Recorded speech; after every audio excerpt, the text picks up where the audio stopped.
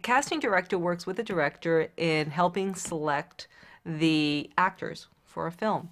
And along the the there's kind of a twofold approach to casting. There's the creative side where you you physically help select the actors, and then there's the business side where you then make the contract and the terms of engagement for the actors. So you're kind of working on both ends. You have to not only be creative, you have to be responsible within a budget.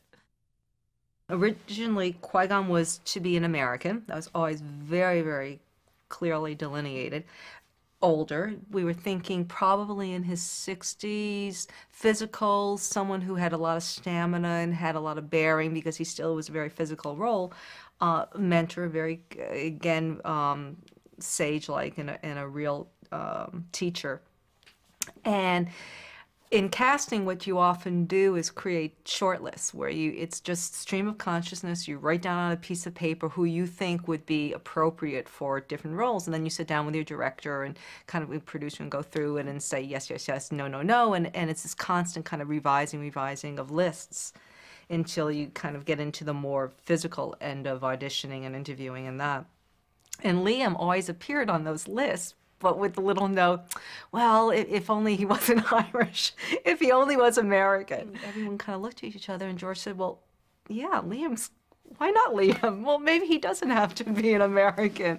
There's no real why other than that's what initially I thought. And from that point on, it, it was, you know, Liam was considered for the role. Uh, I've tried to cast uh, actors that aren't instantly recognizable. You know, it'll be like that. You know, some people will be vaguely aware of Liam, but most 12-year-old boys won't. They'll never seen him before. First off, it's a, it's an extraordinary story. It's the it's the first story in the Star Wars cycle, um, and it's a great adventure story, and that's what I saw first when I read it and saw the the photographs and the descriptions of these extraordinary planets and worlds that my character and various other characters explore and find themselves involved with. Second or third reading, it was, uh, yeah, it was like, oh yeah, there is this element to it now. Of, of course, these these races of creatures and individuals and human pups, they all depend on each other here. Our two great societies have always lived in peace. Oh. The Trade Federation has destroyed all that we have worked so hard to build. If we do not act quickly, all will be lost forever. I ask you to help us. George is making a very, very strong point through entertainment of uh, that that life needs each other. You know what I mean? It's like uh, a tree needs the ground it grows on. The ground then needs man to kind of look after it. And in fact, my character makes a, a statement to this. Uh, this, this little boy who becomes my apprentice. Midi-chlorians are a microscopic life form that resides within all living cells. They live inside me. Inside your cells, yes. And we are symbionts with them. Symbionts? Life forms living together for mutual advantage. That we wouldn't live unless we had them, and yet if we saw them under a microscope, we'd see these kind of nasty little bug-like things. That your instant reaction would be to kill it, but that is life. I don't understand. With time and training, Ani, you will. You will. It's about uh, harmony, I guess, but told in a wonderful, um, entertaining, as I say, way, and full of action and full of a very, very interesting basic philosophy that we all need to be reminded of. I'm ambassador to the Supreme Chancellor. I'm taking these people to Coruscant. In The fundamentals I play a character called Qui Gon Jinn. He's a kind of a maverick Jedi who sometimes goes against the wishes and the dictate of the Jedi Council. And he has a, um, an apprentice with him called a Padawan, who is this young Obi-Wan Kenobi, played by Ewan McGregor. Come on, move!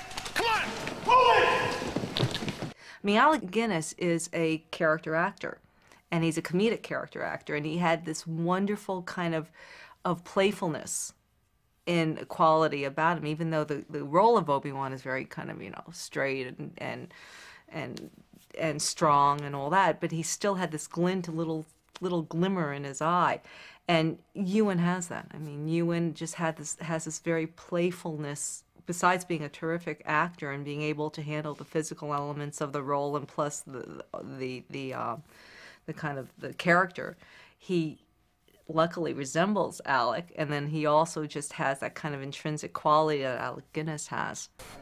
I haven't quite got the grip for my lightsaber yet.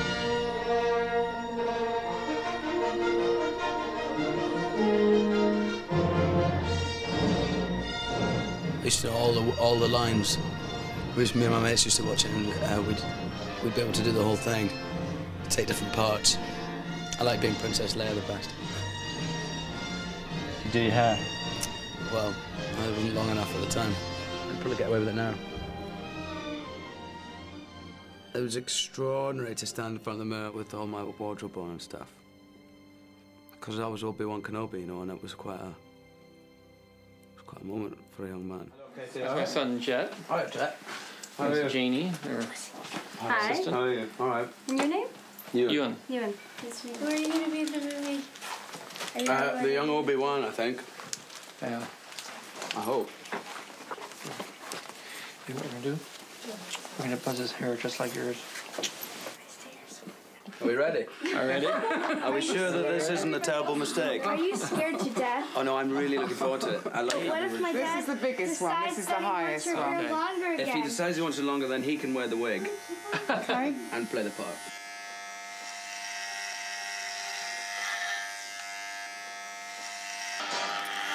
It's thick, see, Scottish hair, it really grows in really thick and tight. Oh, Thickest hair in the world.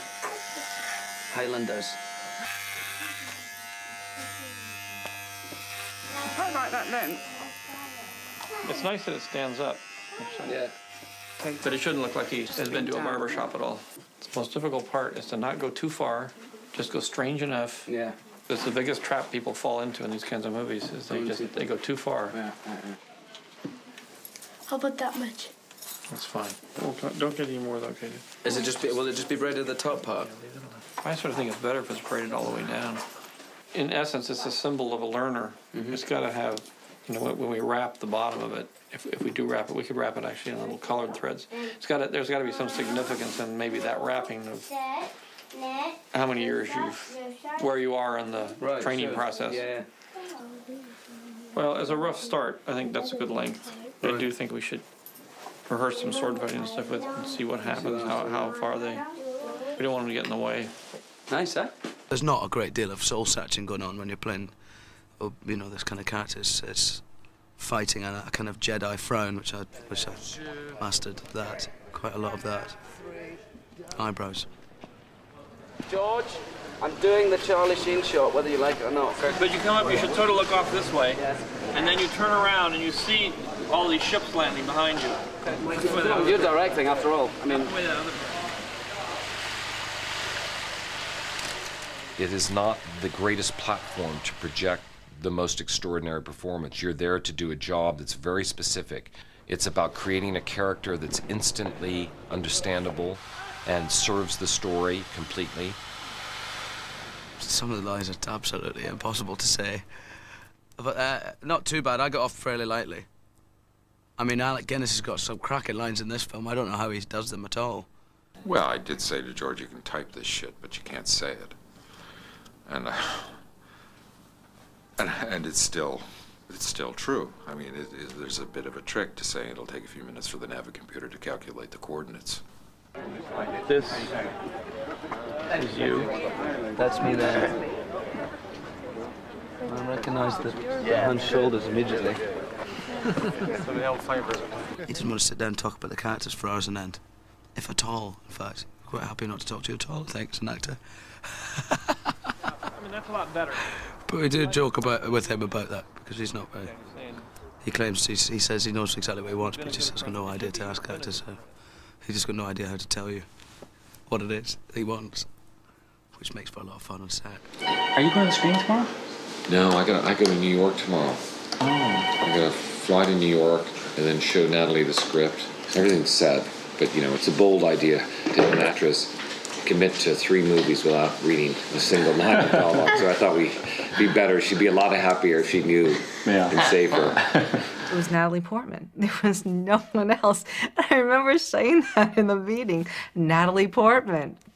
There isn't anyone that really encapsulates the description, at least at that point, of that character.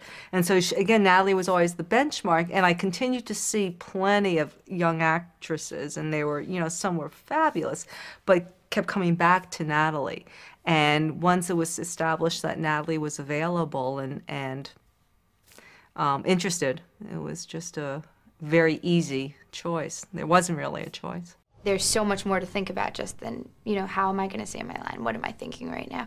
You have to think wait a minute i have to hit this mark and i have to stay out of the way of this space behind me because that's supposed to be some character and you know the blue screen's over there and the spaceship's over there and you've got to make eye contact with that you know person over there who's not standing there. And it's it's just a lot more difficult than an average film because there's a lot more to think about Hi, my name is Cameron Finley. I'm seven years old. I'll be eight on August 30th. Hi, my name is Devin Michael, and I'm nine years old. Hi, I'm Michael Rano, and I'm eight and a half. Hi, my name is Jake Lloyd, and I'm seven years old. Hi, my name is Justin Berfield, and I'm nine. George wrote it knowing that it would be an incredible task to find the right child actor. He had every imaginable element built into this kid from mechanical ability to earnestness. His look was important, his intelligence. And usually children's roles aren't that complex. And in Anakin, you had to have it all.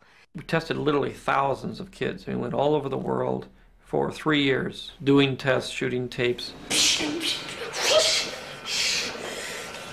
We looked in England and Ireland and Scotland and in North America and Canada and the States. And it was a process of just going to every single location and contacting the agents, contacting the schools, and kind of throwing out this big net, bringing in as many boys as I could. I think I actually interviewed about 3,000 Anakins. And from that 3,000, I narrowed it down to three boys. Scene 1A, take one. Scene 1A, take two. Scene 1A, take one. Lincoln is a little boy who lives with his mother. Uh, morning. Hi. How are you doing? Hi, Hi. Hi. All right. This is Natalie, who is otherwise known as Padme. We were just discussing where we were in the scene. They had to be uh, kind of wise beyond their years, uh, and they had to have a, a good charisma, a good personal quality about them that uh, could carry this kind of a film. We decided to, to bring them all up to, to a test screen at the ranch with George directing. That's a huge thing for a little boy to think that he could be the next Anakin Skywalker. I mean, in their world, that's mammoth. This is Natalie. Hi. Hi. All right. So, Anakin is a little boy who lives with his mother on Tatooine. You all know where Tatooine is. Yeah. It's a desert planet. And um, he works in this little shop that sells used spaceship parts.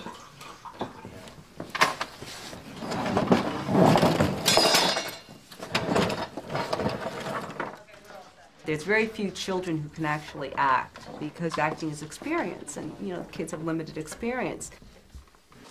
In a little shop that sells used spaceship parts.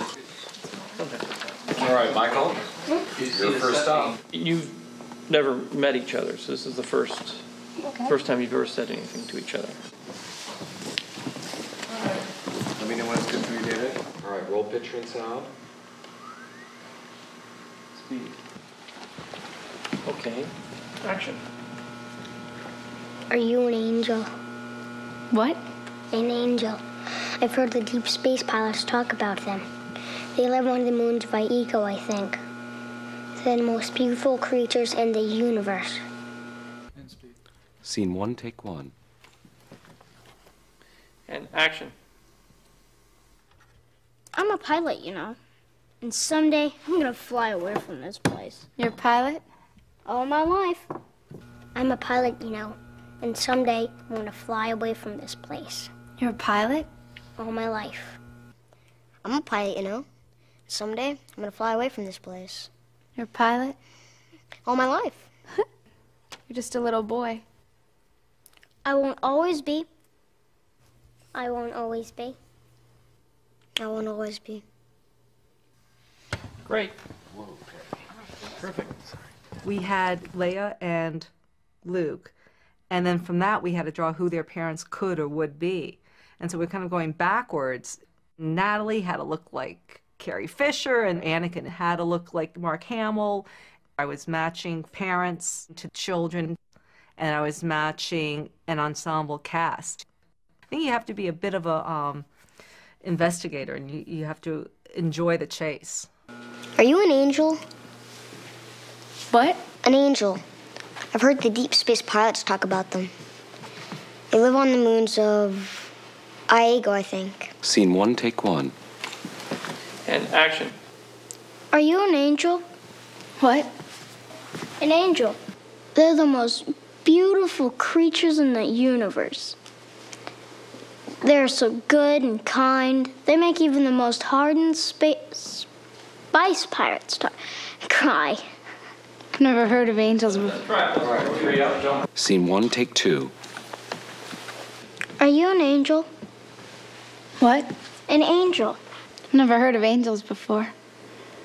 You must be one. Maybe you just don't know it. Scene one, take three. You can see the difference between the two kids. One is going to move the production along a lot faster. There's so many And the other one, I have to just There's so many do a zillion takes and then cut the performance. But the performance sort of rises way above what the other one does. Mm-hmm. Because it's so unpredictable and it's kind of have to go. unstudied. Will mm-hmm. I ever see you again? Thanks for bringing that I hope so. Who'd you choose? I like Jake. Because he seems more natural. I mean, I like his body language. It's just not trained. And this one just hits the beats. Yeah, I was gonna say some people audition real well. He's getting kind of quick at this. And uh, Yes, he's he been is. practicing. Wow. Yeah, you're signed. We're very proud of you, Jake. And Very handwriting proud. too. Very so, good, Jake. what's it been like? You've been telling all your friends you're leaving for Star Wars, huh? Um, the only thing I said was um, I'm going away for the summer to film Star Wars. And then all these hands raised up for questions. So, what kind of questions did they ask you? Oh, so how come it takes two years to film? Because they didn't hear me right. That I'm only taking three, three and a half months. Did you tell them why it's going to take so long for it to come out? With the special effects and stuff? Yeah, yeah, that's what I said. It was gonna take them because of the special effects. Do you know how much money they're going to spend to make this movie? I'm probably over fifty thousand dollars. They're definitely, they're definitely going to spend fifty thousand. Camera. Okay. Okay, we'll Look at take Tim. Yay! There we go. Work,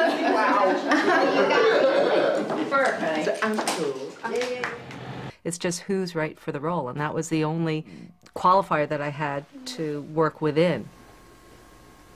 One of the most important things in this particular character is that he is a wonderfully nice boy. Uh, and then there's this very intuitive kind of gut feel you get about that's the one. With Jake, I just got that feeling. I'm a pilot, you know, and someday I'm gonna fly away from this place. I think the the greatest difference in any other film is given the freedom to cast who was right for the role, and I think that is unless you've have been unless you've done casting before or you're familiar with it, you have no idea the freedom that that gives you. That you have no constraints, you don't have to worry about getting any names attached or what the studio will think or what your foreign distribution will think or your money people. It's purely what's right for the role.